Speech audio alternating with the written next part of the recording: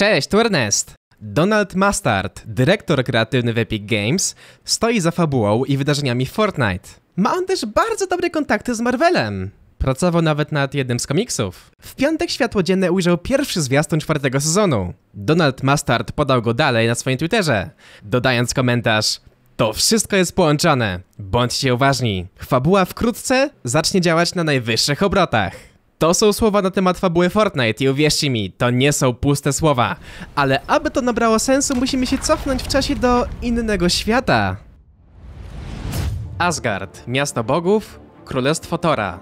Dwa tygodnie. Minęły zaledwie dwa tygodnie odkąd Thor, książę Asgardu i bóg piorunów, został koronowany na króla Złotego Miasta w miejscu swojego ojca, kiedy w jego domu zawitał zdesperowany, pokonany i potrzebujący pomocy Galactus, pożeracz światów. Dwa tygodnie na tronie, zanim Galactus powiedział mu o nadciągającej czarnej zimie, śmierci wszystkiego i o istnieniu pięciu wyjątkowych planet, których pochłonięcie dałoby Galactusowi siłę do odparcia zimy i niedopuszczenia, by jej drapieżny dzień pokrył całą rzeczywistość. I tak oto po dwóch tygodniach noszenia korony ojca i zasiadania na tronie Thor przyjął nowy tytuł. Stał się nowym Heroldem Gromu. Thor i Galactus wspólnie odnaleźli jedną z pięciu planet i kiedy Thor ewakuował już mieszkańców planety, używając Bifrostu, tęczowego mostu Asgardu, a Galactus pochłonął jej energię, mogli udać się w dalsze poszukiwania. Nagle w oddali, w chwili dzielącej sekundy od sekundy pojawiło się coś jeszcze. Daleko, daleko, za znanymi nam obszarami. Wtedy Galactus powiedział, tam, ta moc jest nieskończona. Nie mogę się jej oprzeć. Jeśli się nią nakarmię, już nic mnie nie... Galactus nie! Odpowiedział Thor. A Galactus kontynuował. Muszę ją mieć. Galactus się pożywi. Na co Thor? Galanie, zapomina, że mamy misję do wykonania. Nie możesz. Nie ma na to czasu. Muszę ich ostrzec. Zanim do nich dotrze. Muszę. Ciąg dalszy nastąpi. To, co teraz widzieliście, to komiks, do którego już można zajrzeć w grze w zakładce karnetu bojowego, w menu. To też początek połączenia światu Fortnite ze światem komiksów Marvela. Za górami, za lasami i planetami, gdzieś w kompletnie innej rzeczywistości, gdzie żyją m.in. Thor i Galactus, pojawiła się szczelina niemalże taka sama jak ta, co była na niebie w piątym sezonie poprzedniego rozdziału. Warte uwagi jest to, że hasłem przewodnim piątego sezonu było zderzenie światów. I to właśnie przez tą szczelinę na niebie na mapę wsypała się pustynia i przeróżne obiekty z rzeczywistości. W tym rozdziale motyw szczelin powraca pełną parą, aby wpuścić do świata gry epickie postacie, przedmioty i nawet całe miejscówki z komiksów Marvela. I jak już mówiłem, Donald Mustard nie ogłosił pustych słów. W fabułę gry Fortnite zostaną wplątane dzieje z wcześniej wspomnianych komiksów. Nad górą przy kocim kąciku już widnieje na niebie szczelina, której dźwięk ujawia nam sylwetkę Galactusa i tym samym zapowiada jego nadejście. Niedługo na górce obok władz pojawią się żarzące ślady po Bifrostie Tora. Bifrost to most, którego Thor używa do przemieszczania się między swoim światem a innymi. Na horyzoncie czeka na nas niesamowity sezon, a w tym filmiku rzucimy okiem na wszystkie nadchodzące skiny i przedmioty w czwartym sezonie, o których wiemy dzięki wyciekom i oficjalnym zwiastunom. Zaczynajmy! Komiks był pierwszym zwiastunem nowego sezonu w grze. Hypek zdał nam znać, że to dopiero początek. Komiksy w następnym sezonie będą czymś na wzór Fortnite'ów z dziewiątego sezonu. W różnych miejscach na wyspie co kilka dni będą ukrywane skrawki komiksów, które po zebraniu będą składać się w stronę komiksu, opowiadającego nam fabułę Fortnite. Co do tych komiksów, to już wiemy, czego mniej więcej się spodziewać. Pierwszy komiks, który już jest w grze, jest opowiadany wyjątkowo z rzeczywistości Tora, ale Vast Blast na swoim Twitterze udostępnił kolejne oficjalne zwiastuny. Fortnite będzie udostępniać fragmenty komiksów wycięte w kształcie liter, słowa prawdopodobnie Nexus. I tak do startu czwartego sezonu. Na ekranie teraz widać litery N, E i X. Widać na nich jak stary, dobry Jonesy i Crook walczył przeciwko komuś ramię w ramię z Torem, bogiem piorunów. I o cholera, zapowiada się superowo. Fabuła Fortnite zostanie zreanimowana i to w takim stylu. Te zwiastuny zdradzają nam, że do Fortnite rzeczywiście zawitają postaci ze światów komiksów Marvela. Tutaj podkreślam, komiksów, nie filmów. Thor będzie skinem, a do zestawu z nim będzie jego młot Mjolnir. Nie mogę się tego doczekać. Możliwości jest nieskończenie wiele, naprawdę. Thor, bóg burzy i piorunów, może mieć kilka etapów. Jeden zwykły, a następne etapy coraz bardziej naładowane, na wzór skina Fade z obecnego sezonu. Albo Thor mógłby coraz intensywniej emitować efekty piorunu wokół siebie, w zależności od zebranych eliminacji. Jego młot za to będzie wyglądać tak. Mam nadzieję, że dźwięk będzie inspirowany filmową wersją, w której to wydaje on taki potężny dźwięk machania i uderzania. Dzięki wyciekom dowiedzieliśmy się jeszcze garści kilku innych informacji. Trochę ich jest, ale mam do was dobrą wiadomość. To tylko 10, max 30% tego, co nadejdzie do gry. Pamiętajcie, że w samym karnecie bojowym, wliczając sekretnego skina za wyzwania, będzie przynajmniej 8 skinów postaci. No i oczywiście do sklepu wejdzie prawdopodobnie mnóstwo skinów Marvela. A więc, anonimowy informator Hypexa przekazał kilka informacji na temat nowego sezonu. Oto czego możemy spodziewać się w czwartym sezonie. Najpierw skiny. Do gry ma wejść m.in. Groot. Pamiętacie wyciek na temat nazwy kodowych skinów powiązanych z tym eventem? Okazało się, że Grape to nazwa kodowa skina Groot. I niektórzy z was nawet trafili. Groot to takie oto stworzonko albo stworzenie, jeśli już dorośnie, które przypomina drzewo. W Fortnite może wejść nastoletnia wersja Groota albo jego dojrzała wersja. Tak czy siak, zamysł jest taki sam. W tle teraz widać jego wersje komiksowe, ale też i filmowe, które mi się bardziej podobają. Tutaj znowu jest duży potencjał na reaktywność. Im większy poziom lub więcej eliminacji, tym więcej listków i gałęzi może z niego wyrosnąć. Zanim przejdziemy dalej, to nie zapomnijcie wpisać go do twórcy przed zakupem karnetu. Kod resetuje się sam co dwa tygodnie, więc koniecznie to sprawdźcie. Mój kod to Ernest, taki sam jak nazwa kanału, a oto kilku z moich wspierających. Jeśli też chciałbyś się tutaj pojawić, wpisz mój kod w sklepie i daj o tym znać na Discordzie lub Twitterze. Pamiętajcie, że łapka w górę, sub i komentarz to już mega wsparcie. Możecie zostawić. Dzięki wielkie. Kolejnym skinem jest Storm. I co ciekawe, Storm pasuje do nazwy kodowej drugiego skina, żeńskiego, o którym wam mówiłem w moim ostatnim filmiku. Supermoc Storm jest podobna do zdolności Tora. Potrafi ona kontrolować pogodę, wywołując na przykład błyskawice, tornada, huragany itd. Tak to może być jakoś wykorzystane w świecie gry. Zamiast maraderów i rekinów byłyby niszczycielskie tornada. To by miało fabularną podstawę. W komiksach nosi kostium, który występuje w różnych wersjach. Raz jest czarno-złoty, a innym razem biały, jak i włosy, również z złotymi akcentami. Do gry też wejdzie Wolverine. Będzie on prawdopodobnie sekretnym skinem za wyzwania, a jego pazury będą dostępne jako zbieraki. Co ciekawe, ma też wejść przyróbka skina bananka. I teraz uwaga, wzorowana na memie, na którym ktoś ubrał kostium banana i dodał szczegóły charakterystyczne dla Wolverina.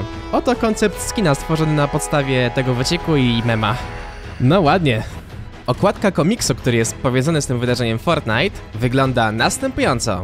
Widać na niej ręce postaci próbujących podnieść młot Tora. To im raczej się nie uda, bo tylko niektórzy są godni podnieść młot Tora, ale nas interesują teraz same postacie.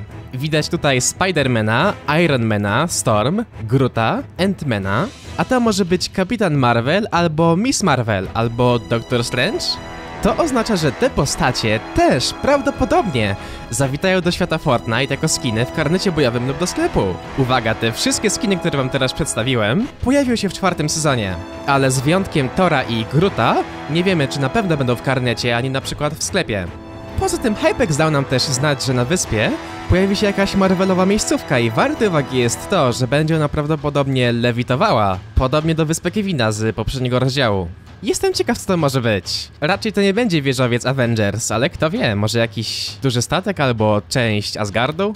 Mam dla was jeszcze jeden bardzo ciekawy wyciek do omówienia, ale najpierw omówmy fabułę czwartego sezonu, którą ujawnił nam komiks widoczny w grze. To, co na dzień dzisiejszy mamy, opowiada o tym, jak Thor staje się heroldem Galactusa. Herold w komiksach Marvela to ktoś, kto znajduje wyjątkowe planety, których pochłonięcie dałoby Galactusowi siłę do odparcia czarnej zimy. W tym komiksie Thor znajduje jedną z tych planet, a następnie Galactus ją wchłania.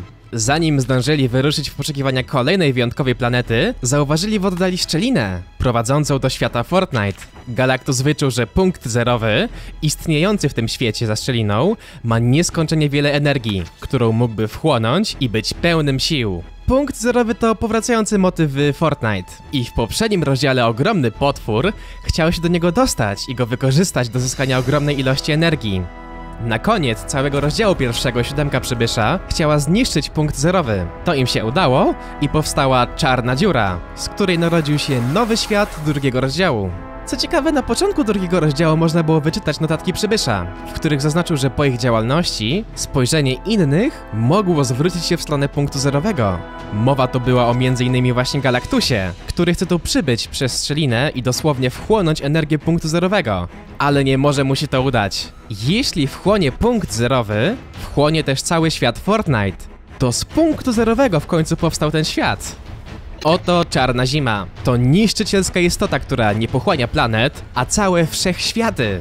Nie dziwię się, że Galactus potrzebuje tak dużo energii. Niestety jednak przez jego pożądanie może na tym ucierpieć cały świat Fortnite. Wszystko wskazuje na to, że fabuła czwartego sezonu będzie skupiała się na konflikcie superbohaterów z Galactusem i Czarną Zimą. Thor tutaj przybędzie z resztą superbohaterów, aby nas ostrzec i nam pomóc. Bardzo możliwe, że za zadanie będziemy mieli pomóc Galactusowi, ale też i zapobiec zniszczeniu całego świata Fortnite. Galactus tutaj przybędzie, aby przygotować się do walki z Czarną Zimą, która zagraża jego światu i kto wie, może Czarna Zima też przydostanie się przez szczelinę do nas i wtedy będziemy mieli wspólnego wroga do pokonania. Tutaj ciekawostka. Na początku wspomniałem wam o zwiastunach, które układają się w słowo Nexus. Nexus to była pierwsza nazwa kodowa na event z punktem zerowym z szóstego sezonu, kiedy to byliśmy wewnątrz punktu zerowego.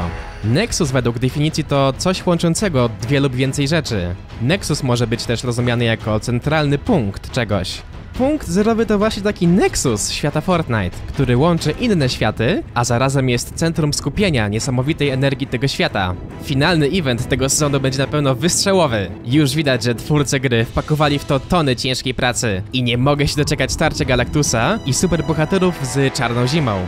Możliwe też, że to my zawalczymy przeciwko Galactusowi, podobnie jak to było z eventem Króla Burzy. Ale szczerze mówiąc, to wolałbym mu pomóc. On w końcu chce uratować całe uniwersum u siebie, gdzie żyje Thor i reszta superbohaterów. Przydałoby się im pomóc. Co ciekawe, szczelina Galactusa pojawiła się nad górą przy kocim kąciku, a w tej górze jest wejście do tajemniczego skarbca. Czy to tam znajduje się punkt zerowy w tym sezonie? No, zobaczymy. Pamiętajcie też, że to tylko główny wątek fabularny. Po drodze może dziać się wiele innych bardzo fajnych mniejszych wydarzeń. Pamiętacie Tabora Hilla? Tabor Hill ponad miesiąc przed startem trzeciego sezonu przekazał nam wycieki na temat sezonu trzeciego. Dzięki niemu poznaliśmy praktycznie cały sezon jeszcze przed zwiastunami. Jego zaufane źródło informacji odezwało się po raz kolejny. Tym razem ilość informacji jest skromniejsza, ale to chyba nawet lepiej. Ja wolę takie mniejsze ciekawostki niż wycieki na temat całego sezonu. Od A do Z. Pamiętajcie, że to co zaraz wam przedstawię może się nieco zmienić, albo wejść do gry dopiero kilka tygodni po starcie czwartego sezonu, albo w ogóle nie wejść do gry, jeśli twórcy gry zmienią zdanie. Ale patrząc na poprzednie wycieki tej Bora Hilla możemy być pewni, że to w jakimś stopniu na pewno się sprawdzi. A więc Tabor w swoim 6-minutowym filmiku opisał dwa nowe przedmioty. Jednym z nich jest legendarna rybka Midasa. Będzie ona prawdopodobnie wyglądać podobnie do zwykłej rybki, ale będzie ze szczerego, błyszczącego złota. Niektórzy z was mogą sobie pomyśleć, ale mamy już mityczną rybkę, która jest ze złota. Racja, jednak rybka Midasa będzie miała jedną wyjątkową funkcję. Po zjedzeniu takiej rybki Midasa, wszystkie przedmioty w naszym ekwipunku z wyjątkiem leczenia zamienią się w legendarne przedmioty. Dla przykładu powiedzmy, że mam cały ekwipunek niebieskich broni i małą potkę. Po zjedzeniu rybki Midasa, wszystkie moje niebieskie karabiny szturmowe zyskają złotą klasę rzadkości, a leczenie pozostanie bez zmian, bo wiecie, leczenia nie da się ulepszyć. Ale kto wie, może to się zmieni. Fajnie by było, gdyby ta rybka nakładała też na wszystkie bronie w ekwipunku efekt dotyku Midasa. Mam tu na myśli te złote malowanie, które zostawia po sobie Midas po dotknięciu broni i pojazdów. Chyba was nie zaskoczy, jeśli powiem, że ta rybka prawdopodobnie będzie bardzo, bardzo, bardzo rzadka. Nie wiemy jak często będzie występować, ale na pewno będzie mega rzadka i może nawet nie będzie jej w trybach turniejowych. To bardzo mocny przedmiot i wyłowić taką rybkę to jak wygrać na loterii. Wyobraźcie sobie teraz wyłowić taką rybkę Midasa podczas ważnej rundy w jakimś turnieju. Ogólnie to fajny pomysł. Jestem ciekaw, czy to będzie nowy powtarzający się motyw w czwartym sezonie. W sensie, że wyjdzie kilka rybek nazwanych po postaciach z Fortnite. Jeśli mamy rybkę Midasa, to czemu by nie dodać na przykład rybki Cyclo, która dawałaby nam ochronę przed burzą na 30 sekund? To by było przydatne. Jeśli macie jakieś pomysły na nowe rybki, to koniecznie dajcie znać w komentarzach.